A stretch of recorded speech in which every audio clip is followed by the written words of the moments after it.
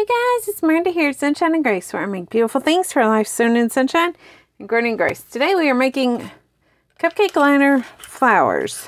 What you're going to do is you're going to take your cupcake liner and flatten those little puppies out. We've all done that, right? I colored them. I splattered them with watercolor inks or watercolor paint. Then um, coffee dyed them, baked them, sprinkling coffee on there to get like the really rich dark. Um, and splattered with a shimmer spray. And then I came back after they were baked and crunchy and splattered them with gold flecks of paint. So these have been painted and stained. These littler ones, I just, um, because they already had color to them, I just coffee dyed them a little bit and baked them too. I crunched them up first though. That's why they're like this. I crunched them all up. I'm going to show you how I crunch one. You just take it and you crunch it starting in the center because the idea is you want it to make like a flower shape. So you crunch it from the center like this. And then you would just, once you get it all crunched, you would spray it with coffee dye or dip it. I guess if you dip it, I just use a bottle of coffee spray that I've made. It's just literally instant coffee with some alcohol in it to keep it from getting too funky. I'm thinking I'm probably going to need to clean it out pretty soon because it's starting to have a slight odor to it and it's not spraying very good. Then when you do that, you spritz it like yay. I'm not going to do a whole lot because I don't want to cover the thing, but you would spritz it and then sprinkle wet coffee and some um, salt on there to get it to look pretty. Gives like the, well, my hot glue gun is falling over. Gives those dark spots and like the shimmers to it. And I think I might have sprayed it with shimmer spray too because I'm obsessed with the shimmer spray. But um, that is basically it. So you bake these little puppies crunched and we'll, sit, we'll go ahead and do it. And then when you're done, you uh, once they're dry, baked, you just gently, don't do it hard because it'll rip. Pull it apart a little bit and then squish it so that the center is somewhat flat. I have to play with them a minute to get the shape that I like. Then once I get it to the shape I like, I like that one. What about this? Ooh, I actually like that. Okay. That's a really pretty button. That's like a, I don't know, it's got like a mother of pearl look. Trigger does not work. So, um, I just push on the end of it. yeah, I know. I should buy a new glue gun. I don't. Okay, put your big gob out. Set the glue gun to the side so you don't burn yourself with it because you haven't done that a hundred times in the past few years.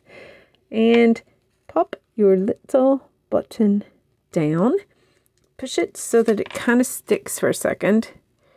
That just gives the glue time to grab. And then this is what I like about the glue gun.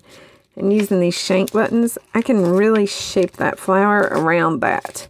Make like a little bit of a whoop to it. Okay, I am totally off center. But you know what? That is okay. Eh, it's not too bad. Let's just kind of crinkle that side a little more. There. Okay. Flower done. Now, was that not easy? Okay. I mean, it sounds fiddly when I'm doing it because I'm like, you got to sponge it and all this. But it's not. Okay, so taking one of the ones that I did flat. So I dyed them, squished them flat, dyed them, and you just got to kind of wrinkle them up too. Just the exact same process. It's just a lot harder when they're flat and baked flat because they don't cooperate. And some of them will break. Like those dark spots, those things are fragile. Like really. So, um, yeah, you just kind of squish it into a shape that you like. I like a lot of wrinkles to give that depth and stuff. So I'll probably squish it more than I need to and then flatten it back out to kind of give it some oomph. Yeah, I know. I'm just kind of making it up as I go, you guys. In case you hadn't figured that one out yet. Yeah, y'all are like, yeah, we know. Believe me, woman, we know. I know. I'm a goof. That's... If you want to talk about goof, Okay, the other day, um, it was Friday. I was out feeding my animals. You know, I do that every morning. Go out and feed the critters and, you know, just kind of do my thing out there, you know, singing, carrying on, just having fun, feeding them, talking to them, carrying on with them. Uh, yes, I do act like they talk back to me, okay? I answer myself for them. Anyways, so I've got this one feral duck. I've got two feral ducks, actually. They're Muskogee. Oh, Muskogee. Muskogee. Muskogee ducks. I don't know why I say Muskogee. I always do that, but they're Muskogee ducks. And they, um, basically, they're feral ducks. They showed up a couple years ago. Just little bitty cute things and so we just kind of started feeding them and they hang around. They do not, um, they lay eggs, but they hide their eggs. So they're not producing anything of any value other than they're highly amusing. So the one is white and like solid white, and the other one's like black and white and or almost a green color. I call her Goose, the green one, because she does have like a green sheen to her, like an oil slick is kind of what it looks like. But um, the other one's just white, and the white one does this thing with its head, like when it's wanting to eat. It loves bread. They both love bread. Okay. They will follow you around like dogs trying to get bread. And every morning, Sita, the white one, meets me at the bottom of my steps. And she walks around following me until I get done feeding so that I will give her some bread. So she's doing this Friday morning, you know, and it's raining. And it's slick. And I'm wearing like shoes that don't really have, uh, they're Crocs, okay? They're just Crocs. They're slick. Slicker than snot. And I walk across a piece of plywood that my kid laid in the driveway because he was working on his truck because his Jeep's still not running and now his truck doesn't his truck doesn't run, his Jeep doesn't run. Poor kid got shafted on the Jeep. I'm afraid he's yeah, he's trying, but he cannot get it to work right. It's just giving him all kinds of fits. So we um he laid that there to work on his truck. He was trying to put the detent cable back in. And did you see? I still try to squeeze it, even though no, does the trigger does not work. But um, he left that in the driveway, and I did not think about it and stepped on it. And I'm telling you what, my legs went straight out from under me up in the air, and I come crashing down on that. And I had two carrots for the rabbit, and that bread in my hand. and that feral duck, man, Sita, she jumped right over top of me and grabbed that piece of bread as it was flying through the air. Cracked me up. I mean, she's a nut for bread and doing this dolphin thing with her head the whole time. Like she's begging and she looks like a dolphin up out of the water, like the way they bob their heads. It's exactly what she does. Okay, so there you see. I just glued the little button on and you can see they make absolutely adorable flowers. You guys, I'm telling you, that is just absolutely cute and so simple to make because they're just, I don't know, I just like them. They're huge. I'm not going to lie about that. And like when I go to put them in a journal, I will probably crunch them in a little bit if possible. Yeah, you kind of can. To give them more depth and um, kind of shrink them because those are kind of big. I don't know how much. This size I would use quite a bit, I think. Those I'm not as sure about.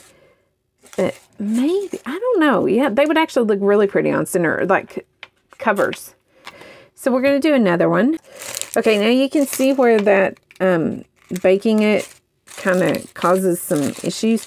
So we are not going to crunch that too much over in here. We're, yeah, it's just cracking like crazy. So we're just going to leave it like that. And um, kind of flatten it. In fact, that cracked so badly. Let's pull some of these color back out. And let's grab a one of these and let's layer it. That might look good. Okay, let's see. And you can see you just kind of bring it out and smush it down. Y'all, I do love it. I, I don't know what it is about making flowers, you guys, but I do love it. It just makes me so, so happy. I am working on a new digital kit. I cannot wait to show it to you guys. It is um, based on Philippians 4, 6 through 9, I believe it is um, the Whatsoever Things Are Lovely, Whatsoever Things. I read it to you guys a few months back when I was kind of in the middle thinking about rebranding this. Yeah, that didn't work. I, I can't not craft. I mean, I'm just straight up say. I cannot not craft. Okay, I'm hot gluing these two layers together because, oh, yes, that's exactly what I was hoping so pretty, you guys. So pretty. I just, oh, I love it. I love flowers. I love to make flowers. It's just, it makes my heart happy. Okay. Put that bad boy in there. My glue is running low. It always gets difficult at this point because I cannot start a new glue stick yet, but I also have no leverage to push to get the glue out. So I'm going to try. Guys are seeing me like completely jerry rig this. okay, it worked.